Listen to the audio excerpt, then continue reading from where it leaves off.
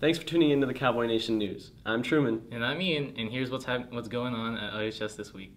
Seniors, the last day to order your cap and gown and graduation announcements is Friday, September 30th during the lunch in the quad. This is the only makeup day, so be sure to place your graduation order at this time. Come to the Career Center tomorrow during lunch to learn more about Dartmouth College. All LHS students involved with choir are invited to the Livermore Granada Choral Exchange this Friday after school in the theater. Men's lacrosse parent meeting tonight, Tuesday, September 27th at 7 o'clock in the room 503. Ignited Youth, the Christian Club, meets this Thursday at lunch in room 311.